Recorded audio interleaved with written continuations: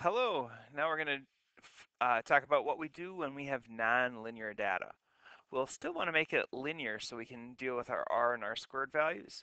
Uh, in order to do this, we do what we call linearizing the data sets. So we take something nonlinear and make it linear. Well, first off, we have to know how we can tell if a data set is nonlinear. And what we'll do is we first graph the residual plots. So we graph those residual plots, and we look for any major curve. If there's any curve in the residual plots, then we know that something's wrong. But eh, also if there's some fans, we know that the residual plot is good, or the graph is good at one end, but not the other end of the data set. Well, let's see what happens. Sometimes we graph data like this, the brain weight and body weight of mammals. And when we do so, uh, it's not clear that there's a linear pattern here. But we can use logarithms, and in this case, logging both variables makes quite a linear uh, graph. And so, uh, so from that line, we can find out what the actual equation is uh, once we can find a linear regression with the logs. So first, what we need to do to explore this is uh, pull down a graph in Fathom, and we're going to look at the mammals. So I'm going to graph my brain weight up here and my body weight on the x. Now, the data set was actually just this data set down here. They didn't include these outliers, but we can even include those outliers uh, when we're dealing with Fathom, and uh, it will work great. So when you look at data and you want to see if that's the most linear data that, could, that we could get, what we want to do is log the y-axis first and ask yourself if that's any more linear. And I think the question should be no. That's not linear at all. Now let's log the x value. And when you do that, it looks like a, uh, a almost surprisingly linear situation. So now what we do is go up to a graph and find the least squares regression line. Now I'm going to take this and bring it back here.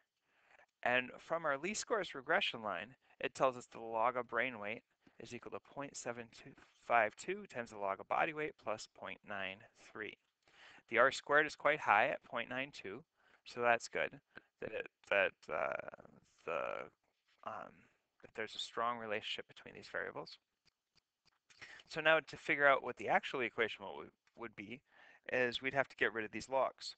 So we have a log on both sides, so I'll take 10 to the log of brain. I'll shorten that just be brain.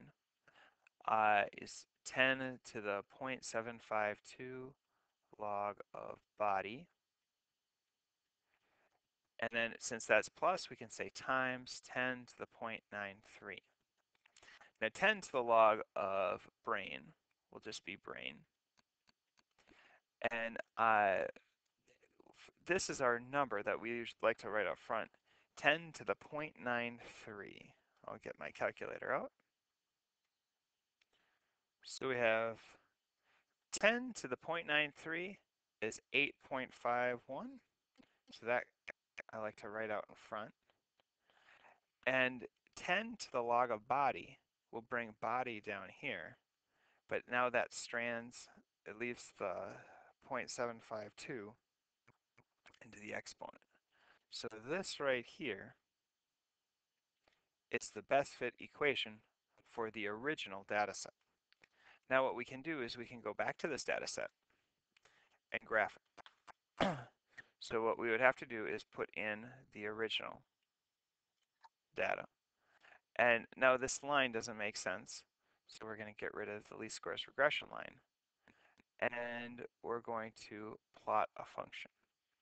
Our function is going to be brain weight equals 8.51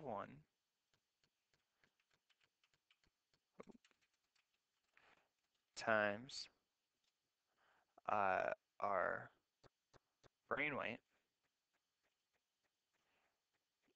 to the power, which we just hit that little caret button, and uh, the power was 0.752. And when we hit OK, this line here is going to be the best line to fit these data points. All right, hopefully that made sense and you can do the rest of the problems. Good luck.